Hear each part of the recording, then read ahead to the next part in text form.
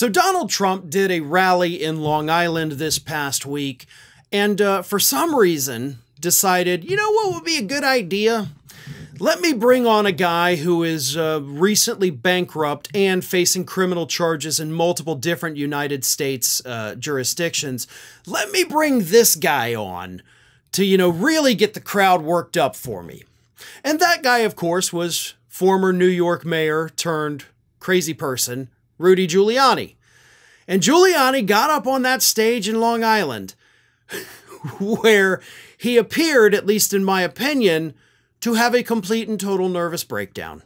Because Giuliani did, as Giuliani does, start talking about his belief, that has been debunked numerous times, that the 2020 election was stolen. But then, while spreading his repeatedly debunked lies, he apparently got himself so worked up about something that he knows doesn't exist that he started screaming and he said, If you're behind election fraud, I'll find you. I did it to the mafia. I'll do it to you too.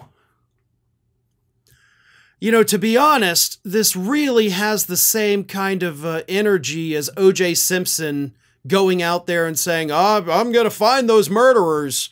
Yeah. Um, and of course, he never did. And I think most of us have a hunch as to why that is. But Rudy Giuliani saying, if you're behind this fraud, I will find you kind of has that same energy because it's like, dude, you've been looking for four years. You were a part of some of the 62 lawsuits that the Trump campaign filed, all of which lost. 62 lawsuits, more than five dozen, and every single one of them laughed out of court. You yourself, Rudy, have gone bankrupt now because you got to pay out close to $150 million to Ruby Freeman and Shaye Moss for slandering them to hell and back, accusing them of rigging the 2020 election. Your election lies have cost you everything. They're also likely going to cost you your freedom in Georgia and Arizona, where, as I mentioned, you're still facing criminal charges. Like those have not gone away. Those will not go away. Even if Trump wins the election, he cannot pardon you. You're probably going to jail. But when I say that his election lies have cost him everything, I'm not just talking about his money and his freedom.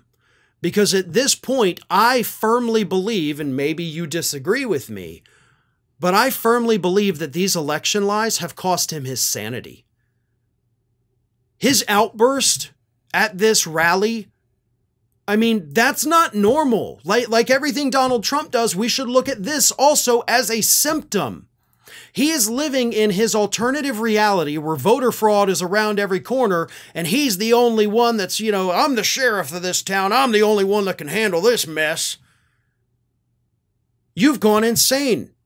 Again, my opinion, and I'm not a mental health professional, but I would advise you, Rudy, to seek the help of mental health professionals because there is something truly broken inside of you that maybe they can fix.